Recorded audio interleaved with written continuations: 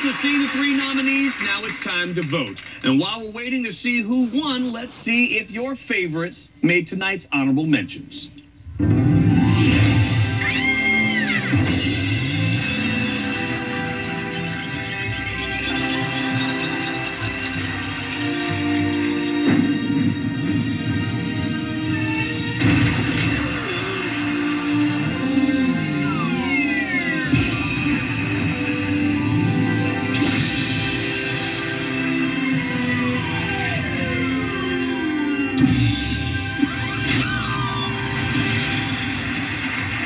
Tonight's honorable mentions.